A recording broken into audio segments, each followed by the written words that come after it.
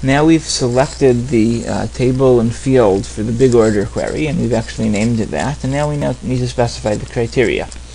Um, the way that we do that is the criteria is that the units on order is greater than 20. So units on order, the criteria is that it's greater than 20, and we want to sort this query in ascending order according to unit price. So sort in ascending order, and then we save that. And we could run the query just to confirm.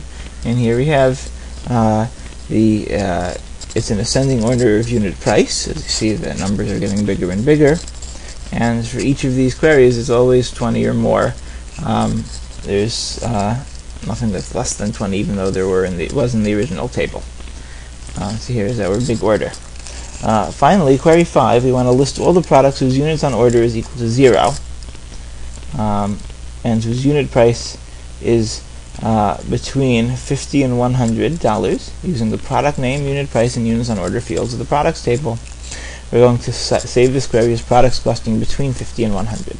So once again, create a query using the wizard.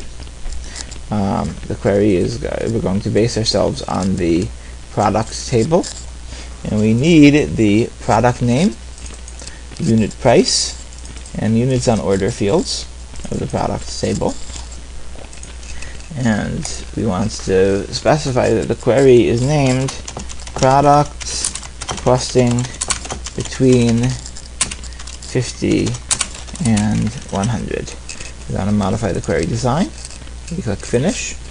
Um, and so now we want to specify the criteria. Namely, the units on order is equal to 0. Units on order, the criteria is 0. And uh, the unit price is between 50 and $100. So the easiest way to do that is just to write between 50 and 100.